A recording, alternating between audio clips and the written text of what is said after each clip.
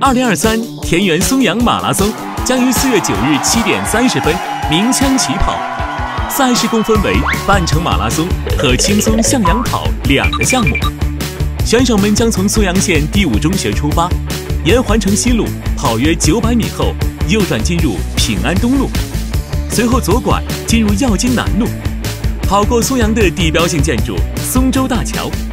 一路跨过滨江路、白龙渊路，左转进入长松路，在江滨公园北门约三点七公里处，左转进入环城西路，半马与轻松跑分道，穿过独山大桥。此时，你可以看到右手边的独山风景区，一枝独秀横江阴，青林倒影千丈深，就是北宋状元沈慧对松阳独山的赞美。如果你是轻松向阳跑的选手，你将继续向前跨过沿溪路，终点就在眼前。如果你是半程马拉松的选手，跑过独山大桥后将右转进入江南公路，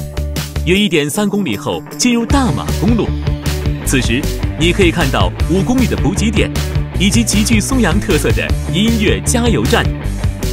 继续向前，在约六点三公里处折返，右转进入松阴溪滨江绿道北岸。百里松阴溪，曲曲弯弯，轻歌曼舞，厚重的历史文化在绿道两旁徐徐铺开。跑约一公里，你将看到青龙堰驿站。驿站的最高点可观赏到松阴溪。堵山和松阳县城，在十点二公里处就来到了鹰嘴潭，这里风景秀丽，适合烧烤、垂钓，有幸还能看到一行白鹭上青天和国家一级保护动物秋沙鸭。在约十一点三公里处左转，进入设计感十足的网红桥石门须廊桥。石门须廊桥一边连着望松街道，一边接着斋潭乡，迎接来自各地的游客。也串联起了松阳人的传统和未来。穿过石门须廊桥，沿着松阴溪绿道前行，陆续呈现的不仅有田园书屋、蓝莓基地等独具美感的驿站和基地，还有沿途的十余座古堰坝，经众多堰坝分隔而形成的深潭湖泊，各自成景，出其不意，都是绝美的打卡点。除了重岩叠嶂、深谷幽潭的山水风光外，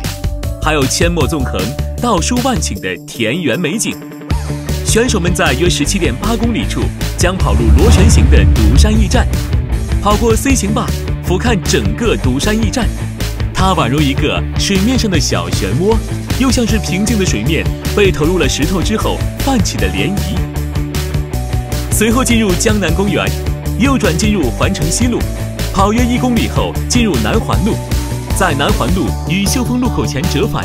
随后右转进入环城西路，到这里也要恭喜你调整好最后的冲刺阶段吧，终点就在眼前。一场马拉松就是一座城市的深度游，在景中跑，画中游，你也就成了最美的风景。跟随2023田园松阳马拉松的脚步，一起跑进江南秘境田园松阳，开启一段浪漫的旅程，在奔跑中。感受生活的美好吧。